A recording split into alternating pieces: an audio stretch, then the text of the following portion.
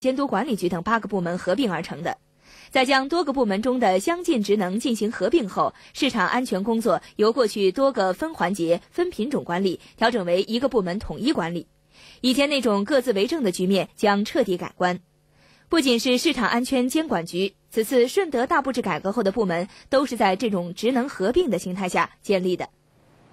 我们再来看一看陈水扁一案啊，又有了一个最新的进展。案子在昨天上午一审到台湾高等法院之后，高院在中午通过公开抽签的方式确定了二审的法官。随后呢，法官召开了羁押庭。那么在经过了将近五个多小时的审理之后，高院以仍有逃亡的可能，并且仍有隐匿巨额资金，裁定将陈水扁延押至十一月二十五号，也就是再关三个月。面对这个裁定，已经被关押了三百零二天的陈水扁，显然是再也承受不住了。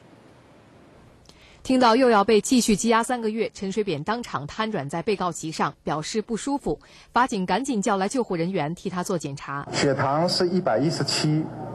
血氧是九十九，脉搏是八十五，血压是八十九跟一百二十一。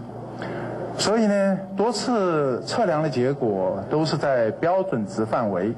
由于陈水扁的各项身体指标都正常，合议庭决定陈水扁不送医，直接还押看守所。陈水扁为了表达对裁定的不满，拒绝在笔录上签字。不过法院表示，就算没有当事人的签名，笔录仍然有效。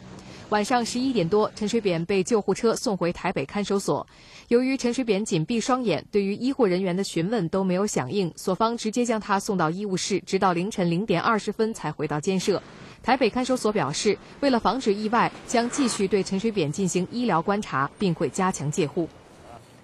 大家知道，深圳机场的一名清洁女工梁丽，在捡到了价值为三百万的黄金首饰之后，因为涉嫌盗窃黄金首饰而被捕羁押的报道，引发了广泛的关注。这名女工在看守所内度过了九个月之后呢，这个月中旬暂时获得了自由。而今天，梁丽涉嫌盗窃一案终于有了最后的结果，她的行为不构成犯罪。一同来看一看记者在一个小时之前刚刚发回的报道。